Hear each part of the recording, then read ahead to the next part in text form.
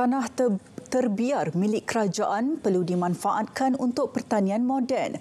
Menurut Perdana Menteri Datuk Seri Anwar Ibrahim, projek inisiatif pendapatan rakyat IPR Intan akan dibawa pada mesyuarat khas Majlis Tindakan Suara Hidup Negara.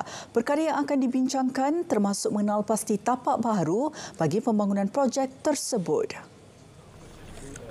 Selain itu, mesyuarat juga akan melihat keperluan serta cabaran yang mungkin dihadapi antaranya isu lambakan hasil pertanian pada masa akan datang serta galakkan kerjasama rentas kementerian.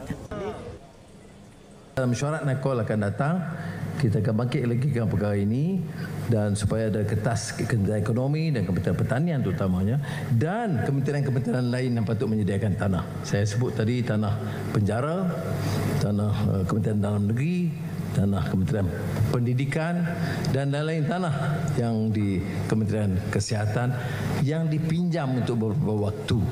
Ha? Saya tak tahu kata sama ada minimal lima tahun apa saya tidak uh, pasti tetapi harus disediakan. Beliau berucap pada sesi lawatan projek inisiatif pendapatan rakyat usahawan tani IPR Intan di Ulu Kinta, Perak. Beliau turut memuji usaha diterajui Kementerian Ekonomi dalam mengurangkan tekanan petani miskin dan beban negara berikutan import pertanian yang tinggi.